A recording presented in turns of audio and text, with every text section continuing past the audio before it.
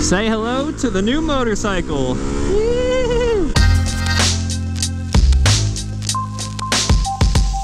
What's going on everyone? Back with another episode of Stuff and Things and it is finally time to say hello to my new bike.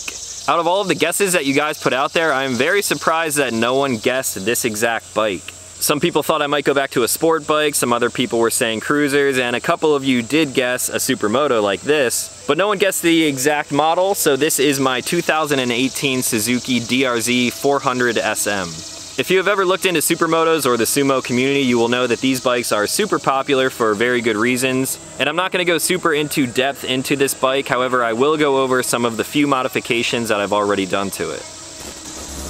Like any new motorcycle or any new toy for that matter that I buy, I end up ripping off all of the ugly, unwanted stuff. So the first thing to go was obviously all of the reflectors, the disgusting undertail, and all of the typical compliance stuff that comes on new motorcycles. The first mod that I did was add these Pro Taper pillow top grips. They are very, very comfortable, especially when compared right next to the stock grips. This was actually not the easiest thing to do. The clutch side I had just cut off with a razor and then slipped the new one on with some grip glue. But then on the throttle side, the stock grip was actually glued to the throttle tube. I found this out after I had already cut up the stock grip, so I went out, purchased a new throttle tube, and then pieced everything back together.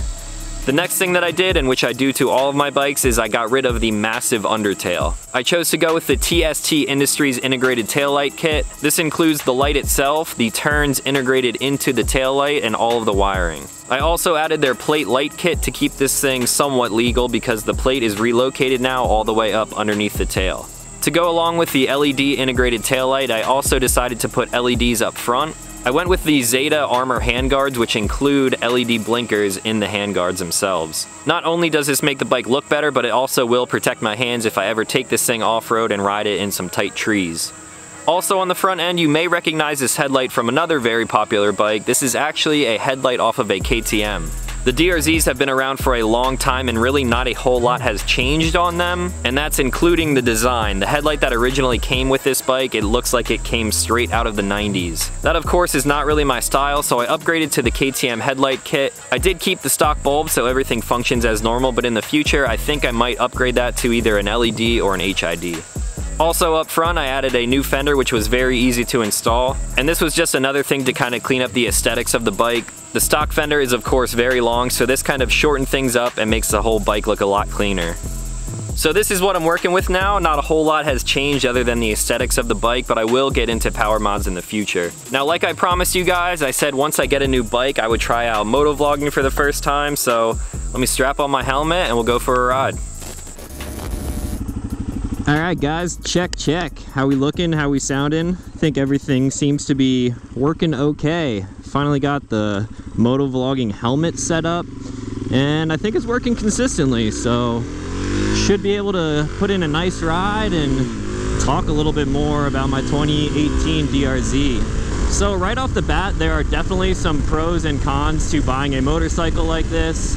I'm gonna start off with the cons right away because I know there are probably already people in the comment section going, oh, why'd you go with the DRZ? You could have went with this, you could have went with that, blah, blah, blah.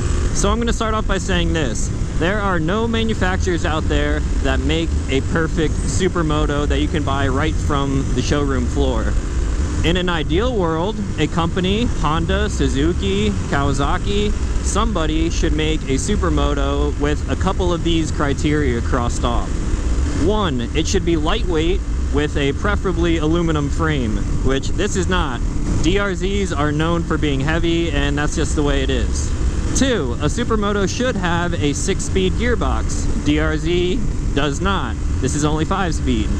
Three, the bike should be fuel injected. Most bikes in 2018 are fuel injected, except the DRZ, of course. Four, the bike should be easy to maintain, very similar to a sport bike or any other cruiser for that matter, and that the DRZ does have going for it.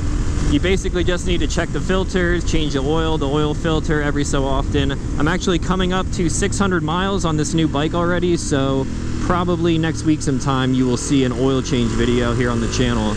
So a supermoto that can come off of the showroom floor meeting at minimum those four criteria, of course with wheels and street tires. I believe it should come in around the $10,000 mark, hopefully even less than that. The thing is though, there is no company that makes something that meets that criteria. Oh, watch out. We got some flooding up here. Pennsylvania has been nothing but flooded lately, so there's water all over the place. Now there are a bunch of different options that I could have gone with. I was actually looking at KTM's. The thing with that though is that the maintenance on those are insane. I don't want to be changing the oil every five hours and checking valves and things like that. I want a bike that looks good, performs well, and I can rely on with basically low maintenance, changing tires and oil. Now it may seem like I just ripped on this bike completely, just listed nothing but cons, but at the same time, I love this bike. I love the motorcycle. I've been riding bikes for a long, long time, and I think in the future I'll do a video kind of talking about my motorcycle past. But until then, I really wish I would have had a Supermoto back when I was 16 years old.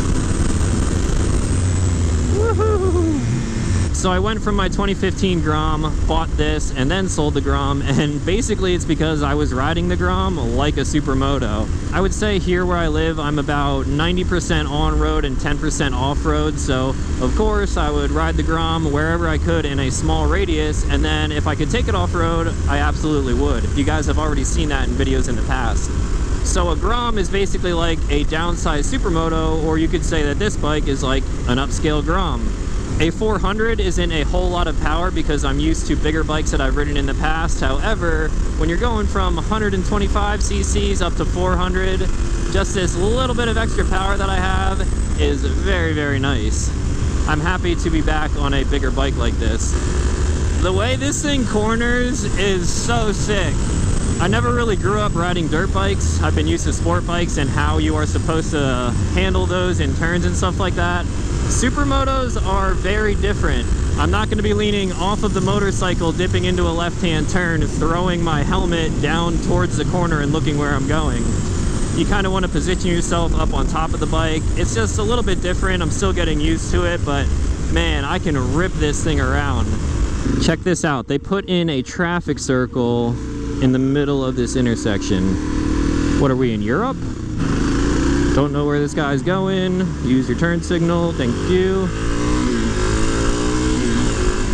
So back to my main point, there are not many manufacturers out there who make a decent supermoto right from the get-go. So after weighing all my options, this was definitely my best bet. The price point was great, relatively low maintenance, and it is a ton of fun. All of the modifications that you have already seen are obviously just for aesthetic purposes. Yes, these up here are functional as well, and in the rear, stuff like that is functional, but no performance upgrades just yet. I wouldn't really say that this bike is a slouch right from the start. I mean, it is obviously very restrictive with all of the compliance bullshit that manufacturers have to include with these bikes. So in the future, after I get through the first oil change and break in the bike a little bit better, I will probably end up going with a different exhaust, doing the 3x3 mod, and a different carburetor as well. I'm really not in a hurry to do any of that because like I said, the bike is still kind of being broken in and it has enough power. Could it have more power? Yes, 100%, and it would be a lot more fun to ride if it had a little bit more, but I'm not really in a hurry to get that power and squeeze it out of the bike. I mean, let's try this. Third gear wheelies on a stock bike. you can pull it up pretty damn easy. Now, if I had a little bit of extra power, that would be much easier to bring up to the balance point and kind of ride out a little bit longer, but it is what it is. Like I said, very happy with the bike so far. So other than that, I don't plan on going too crazy with the bike. Like I said, a couple power mods. I'm happy with the way this thing looks aesthetically already, but I think I should let you guys vote on a wrap job for this. I love the gold wheels, I love the black, that's why I went with black handguards and headlight and fender and everything. But I know there is a place fairly local to me that does complete wrap jobs, so maybe some of you guys who are artistic out there could design something and we could vote on it in the future just an idea that I had. If not, I'll probably just come up with something myself or leave it the way it is. I mean, I think the bike looks good. The one thing is for the 2018 DRZs, they pretty much only come in this colorway. Every dealership in the area has this exact bike. It's not the end of the world after everything that I've already put on this bike. It kind of makes it stand out a little bit and that's really what riding motorcycles is about. Just getting out here and enjoying yourself, ripping some twisties like these. Damn, I really miss riding bikes, man. So yeah, maybe in the future, the only other thing that I'll do is get a little crazy with the wrap job. I shouldn't even say that. Every time that I say I'm not gonna modify something that I buy, I end up getting wicked with it. So I'm not even gonna say that. I'm probably gonna do a lot more to this bike. I just don't know what or when. So I guess that's going to be it for today. I just wanted to get this video out there so I could actually show you guys the bike so you're not waiting around. I know a lot of you were curious and now hopefully this satisfied some of you because I know there are a lot of Supermoto fans out there. Let me know what you guys think about the bike in the description down below or if you have nothing good to say then just off. I don't care what you have to say because I love this bike. I hope you guys liked my first moto vlog. If you did, slap a like on it. I got a lot more of these coming because I tend to ride a lot, so that means more videos for you guys. If you're new to this channel, consider clicking subscribe. I make new videos every week, and that's gonna be all for today. So as always, thank you guys for watching, and I'll talk to you in the next one.